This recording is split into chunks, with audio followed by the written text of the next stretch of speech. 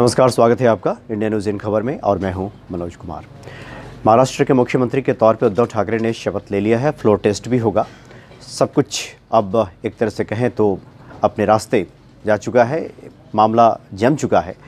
लेकिन इधर बीजेपी के अंदर से बातें निकलकर सामने आ रही है कि बीजेपी को इस बात का मलाल है कि काश उसने शिवसेना की शर्त मान ली होती तो ये गठबंधन नहीं टूटता, और 27 साल पुरानी दोस्ती टूट नहीं जाती और आज बीजेपी और शिवसेना की सरकार होती महाराष्ट्र में। ये बातें निकलकर सामने आ रही है, आ रही है।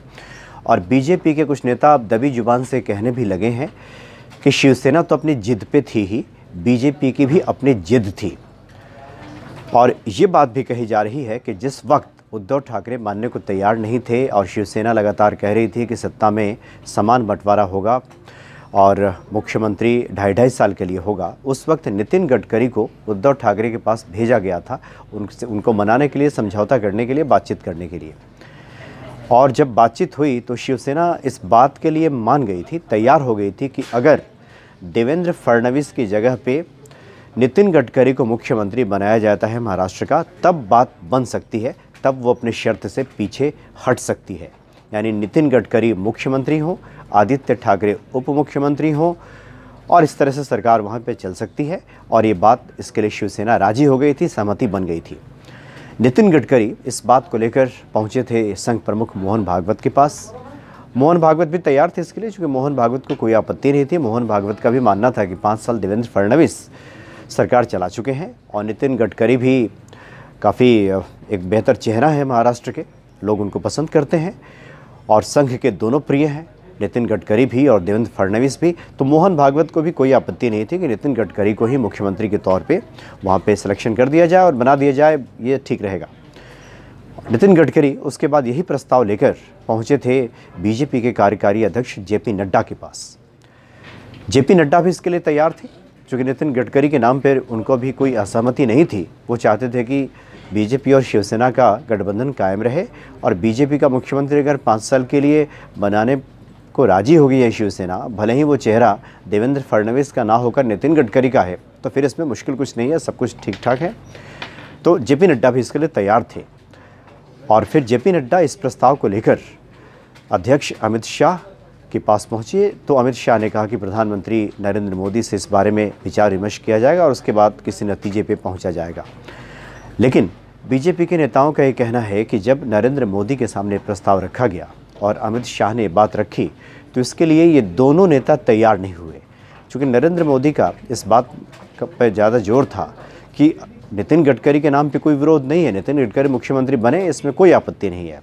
लेकिन अगर शिवसेना की ये मांग मान ली जाती है तो ये संदेश जाएगा कि बीजेपी शिवसेना के सामने झुक गई है, दबने लगी है और इसका प्रभाव अन्य छत्रप उठाएँगे। यानी बीजेपी का जहाँ जहाँ जिन पार्टियों के साथ गठबंधन है प्रदेश की सरकारों में, प्रदेश की राजनीति में, वहाँ ये छत्रप अपना, अपनी मांग बढ़ाएँगे और बीजेपी पे अनावश्यक दबाव बनाने लगेंगे। ये ठीक नहीं होगा, ये नरेंद्र मोदी का कहना था।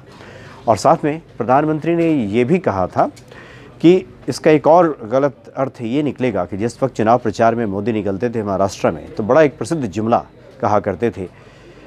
कि दिल्ली में नरेंद्र और मुंबई में देवेंद्र। और फिर देवेंद्र फडणवीस के नाम पे चुनाव लड़ा गया था।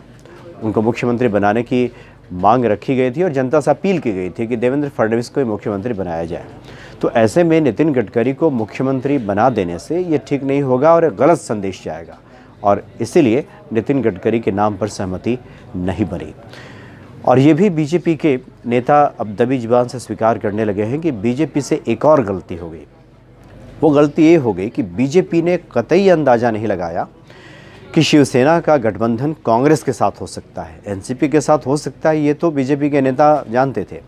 लेकिन बीजेपी के नेताओं को लगता था कि कांग्रेस की जो सेक्युलर छवि है और जो शिवसेना की हिंदुत्ववादी छवि है, ये दोनों मेल नहीं खाते आपस में। इसलिए किसी भी कीमत पर कांग्रेस शिवसेना को समर्थन नहीं देगी, ऐसा मानना था बीजेपी नेताओं का और यहीं पे भूल हो गई, यहीं गलती हो गई बीजेपी नेताओं से। आकलन करने में गलती हो गई और जिसका नतीजा ये हुआ कि महाराष्ट्र में बीजेपी और शिवसेना की 27 साल पुरानी दोस्ती टूट गई। और मलाल है इस बात का बीजेपी को। हालाँकि शिवसेना के नेताओं को भी मलाल है कि उन्हें बेमेल गठबंधन करना पड़ा और उद्धव ठाकरे मुख्यमंत्री बन गए, लेकिन दोस्ती टूटने का मलाल दोनों ही पार्टियों को है और ये मलाल बीजेपी में कुछ ज़्यादा है। और ये कहा जा रहा है कि काश अगर शिवसेना की ये मांग बीजेपी मान गई होती तो आज स्थिति कुछ और होती।